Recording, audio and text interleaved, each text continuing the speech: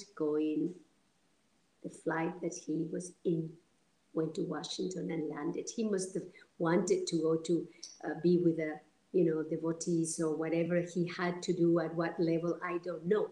But tell me, no flights going to New York, no flights going to Washington. The only flight, he's blind. Too incredible. uh, you were part of the uh, uh, you, you were there when the mediation was happening with the guerrillas in FARC colombia guerrillas FARC in colombia yes yes he had told us in canada a year be, a year before he says you all guys go to cuba and talk to the guerrilla. Imagine if I tell you now, Dick, Digvijay, you now go to Africa and talk to the gorilla in Africa. This, how can you do? I mean, you don't know what where to start from, what to do. So then there was a, another teacher and I, I said to the teacher, I think it's better you go because you're a man, a young man, and this is talking about the guerrilla. So this other guy went, he told us where to meet these guys, who to write to, how to contact them, blah, blah. So he um, talked to, uh, to the men, and six, seven months later, we went with Bhanu Didi and three of us teachers with Gurudev to Cuba.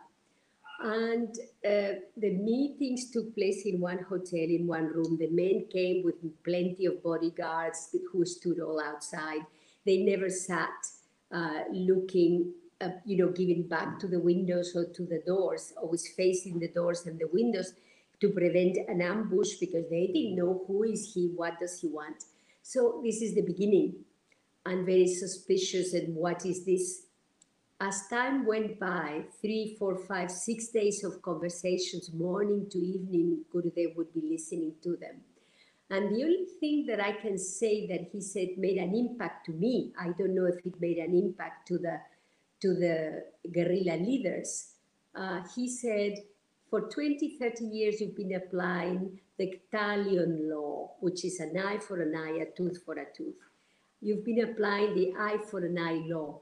And so far, you only have as results a country of blind so many people have died. So many people from your side, so many beautiful people, and from the other side. These are men that have 250,000 deaths to their account. Men that have ruthless men that have no, you know, fear of putting down an airplane because there was a politician there to be killed. And at the end of the meetings, before we departed, everybody like children giggling like we do and playing, wanting to take photos. And the number one came and said to Gurudev, Sir, can I touch your hand? He said, Because when I was a child and I used to be taken to school in Colombia, the saints were made of stone. And I have the feeling that I am now in front of a living saint can I touch your hand? Hold your hand. Gurudev gave him his hand.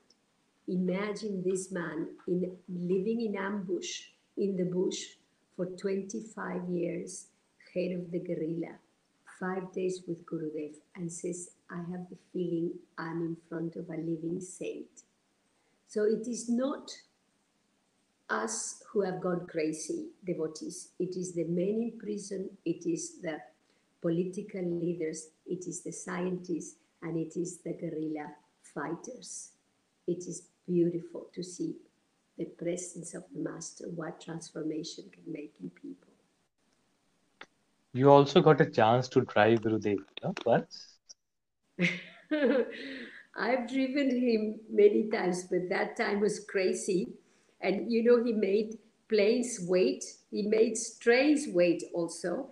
I drove him around Seville with two other swamis, uh, swamis with a orange dress, mm-hmm. not uh, our white dress swamis. Mm. And uh, to show a little bit of Seville here, there, over there, I didn't realize the car was rented. I was so nervous when you sit next to Gurudev. You don't hear, you don't see, you don't know the red light is on, the green light.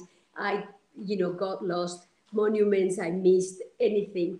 uh, especially my rented car was very small. So, you know, sitting next to him. And then I realized this is a rented car. I drop them at the train and I also have to take the same train. And I have to give the vehicle back. Imagine you have to go back to Avis and give the vehicle back, the paper sign, pay everything. And he said, okay, you go. And, you know, they went to the train. I went quickly, did fly, everything, gave the car back. And when when I reached in, in Europe, trains are never late, never. Trains leave on the dot. If it is 10 o'clock, it is 10 o'clock on the dot. That train left 15 minutes late. I know it waited for me because I had to be on that train too. So he made the train wait so that I could not be stranded in Seville in the south. Uh-huh. There is a, is there a story around uh, Spain where uh, you know he came to your house and the water there was no water left for him? And this is back in Argentina. Back in Argentina, okay. uh, when he first came, the first two or three times he stayed at my home, and every time he stayed, then everybody requested to stay. So uh, 30, 40, 50 people slept in the garage like this, and then every bedroom had six, seven people, not only on the floor, but everywhere. So in the morning, they got up and they used all the hot water from the tanks. Gurudev gets up and he calls me and says, How does the water tap work? I said, You like this and you leave it run for a while because you know the distance is far, so until the hot water comes. And he says, But it's been running already for 10 minutes. Oh, I realized this is no hot water left, only cold. So Gurudev very gently said, Oh, never mind, bring me a bucket and I'll wash with the bucket. Imagine finding a bucket. All the buckets were dirty, filthy from the floor, from the scratches and everything. So I said to the now teachers and you know the boys then and the girls, go rush and get get a bucket of water fresh, go and buy one into the store. Imagine, poor Gurudev, he had to go to the Senate to meet, and there's no water. So finally, the new bucket comes, and I give the bucket empty. And he said, What is the hot water? Oh, sorry, there is no hot water. He said, Never mind. So he went and took the cold shower. That was uh, you know, the time that we had to change the what the curtain, that we had painted the room and it was stinking and there was no water and he had to shower with cold water. He is so uh, childlike. He said, okay, I'll take the shower anyway with the cold water. No problem. He never sees any any issues in anything. And it never makes you feel guilty that, uh, of course, I went down and I said to everybody, you don't touch the water in three or four days and the Gurudev leaves you shower on in the river. but don't touch the water. That was very nice. Having him at home is like both a fiesta and a stress. Uh, a big party, but so stressed you cannot imagine. So, is there a story around the Argentina event? Everybody in the world knows about Argentina. Any experiences of you working in Argentina? Uh, Argentina has grown at such a speed.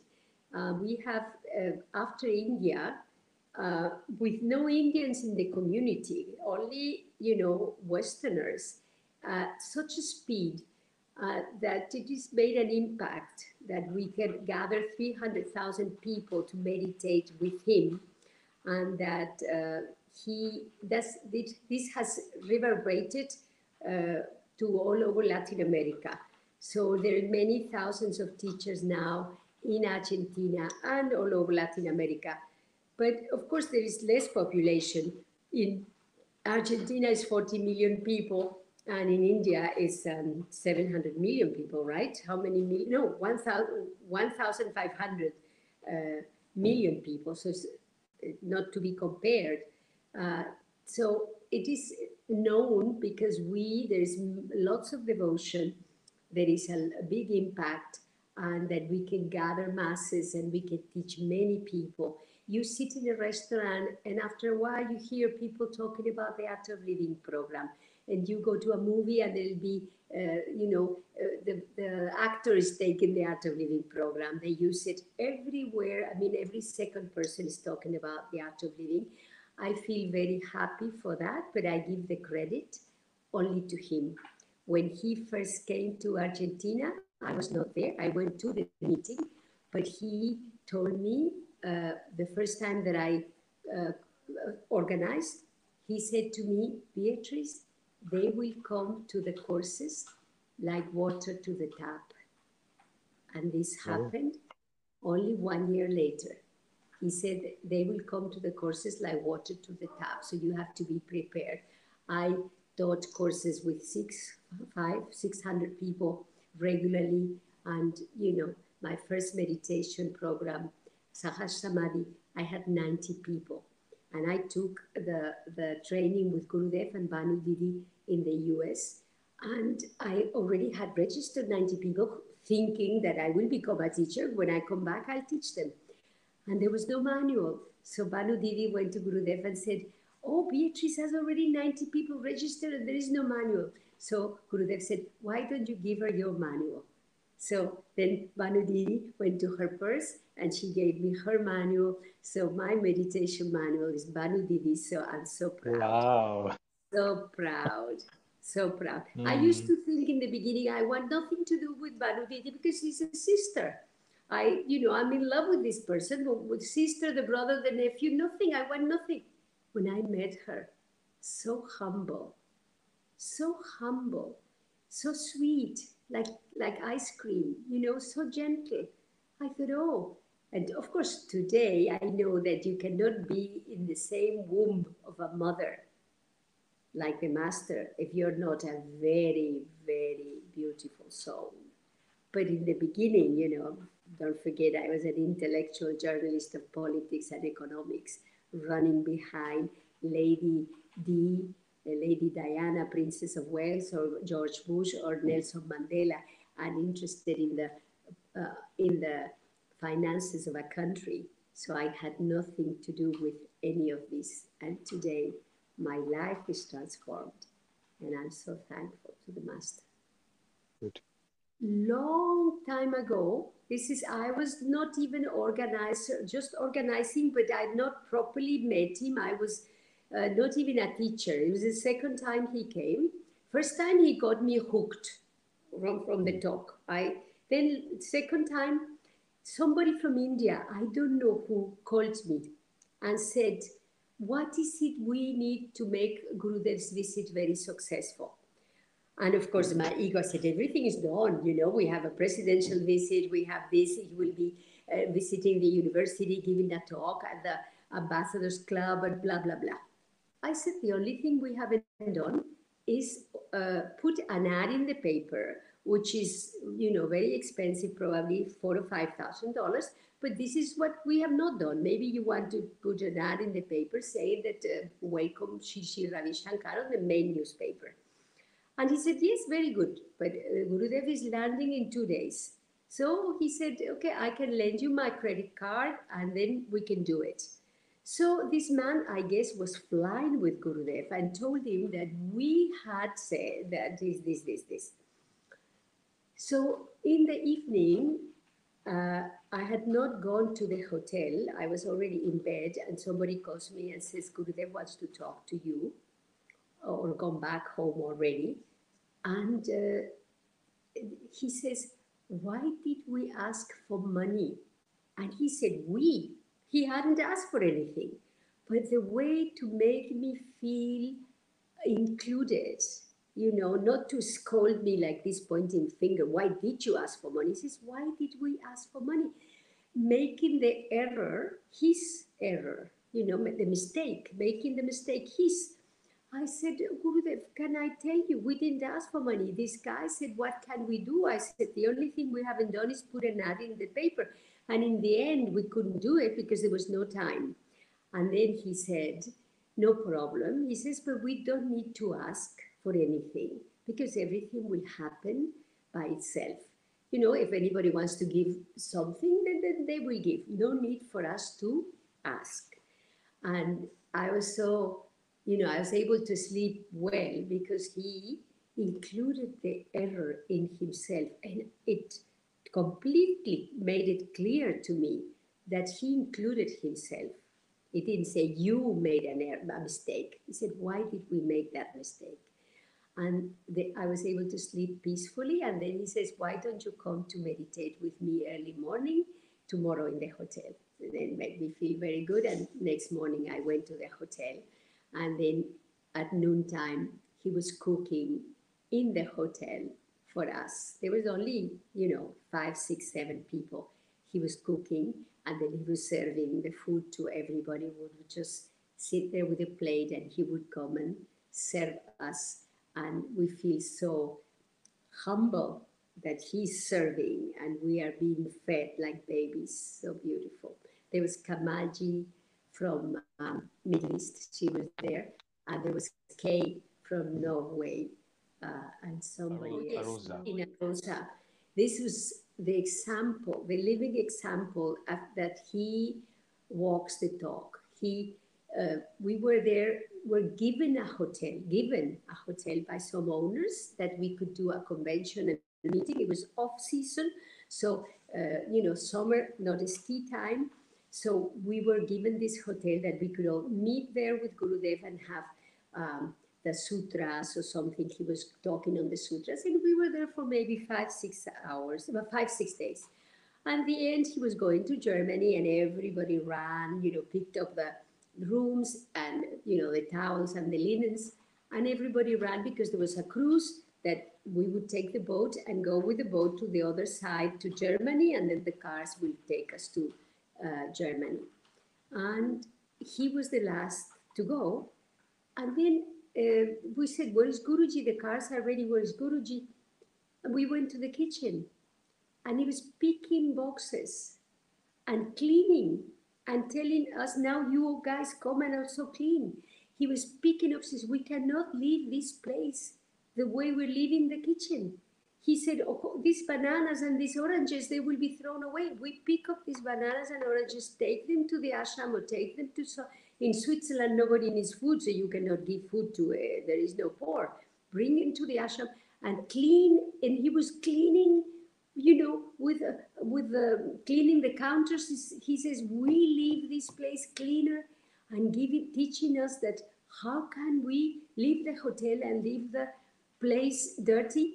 And I've, I've seen him with a broom, I've seen him cleaning the counter and telling us, you take this box over there, take this over there uh, you know, amazing how he could just come down all the way to the cleaning stuff in the kitchen with us.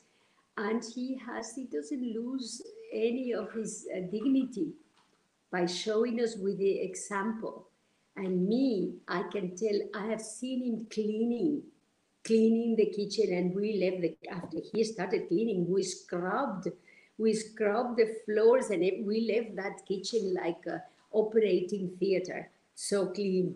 But he was the first one. He went around every corner making sure that we give back this hotel cleaner that when he got it and he was the first one to clean the, world culture festival that probably has been covered by many of the indian participants he, he said to me you stay beatrice and in india i was part of the organization team and uh, in the night, he would be walking the aisles with us, walking the corridors of the ashram. And I, we said, Gurudev, 800 Russians are coming tomorrow, and we have no more beds. Everything has been taken. And he would look to the hills, and he said, No, there is one more bed in that house. One more bed. And we went, and there was an empty bed that would not given so he knew even the count of the beds. He knew exactly where everybody was going to be. He was under the control of everything in, in that festival. But the, uh, showing his coolness, you know, uh, and our Rajas. When uh, I was at the beginning in Germany, uh, meditating. He had not come down yet. I was on the first row. I've always managed to put my body in front So we were meditating, and all of a sudden, I feel this cool, cold, cold, cold, cold. And I thought, oh my goodness, maybe I'm becoming enlightened. This is, it was so vivid. It's my soul. I'm feeling something cold, freezing cold. My feet, it would come up. And then I opened my eyes, and there was a big open uh, hole in the wall, and the frozen water from the Alps was coming down into the it was not my soul. It was frozen water into the building. And I started saying, ah, uh, you know, flood, flood. And the Germans, shh, shh, because they're meditating and thinking she's, uh, you know, going blue star. So as I started picking up cushions and everything, and turmoil starts, me and somebody else rush upstairs to the little kutir on the upper floor in Germany. Guruji, Guruji, the walls are coming down. You know, the meditation hall is flooded and it's pouring rain. and he is sitting there like a summer buffalo. And he looks and he says to his aide, Go down. We will take care of it. You know, teaching you the lesson. Keep cool, keep calm. You know, the meditation hall has water up to the waist but he didn't say, oh, no. He just said to the assistant who was reading emails for him, go down, we will find, we will solve it. Like that. And we had gone up the stairs thinking, oh, you know, the whole building is falling. never lose your coolness. Never lose your temper. Never lose your center. So, few questions that I usually ask to all the all the people we interview on this channel. First, Beatrice what is Gurudev for you? Gurudev is my mom, my baby. I feel like feeding him spoon. He is my master. He's my guide.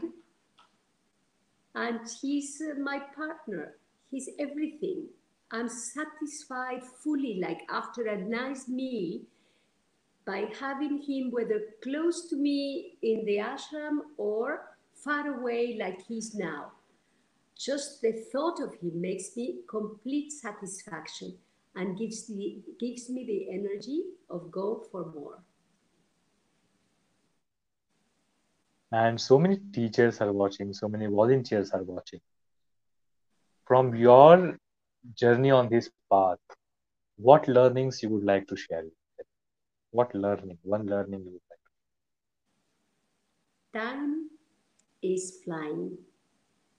Do not waste any second of your life without thinking, serving, seeing Him. If you serve Him and do His duty, He'll do your job. Don't waste time in oh, my partner, oh, my job, or my money, my children, my this, this, nothing.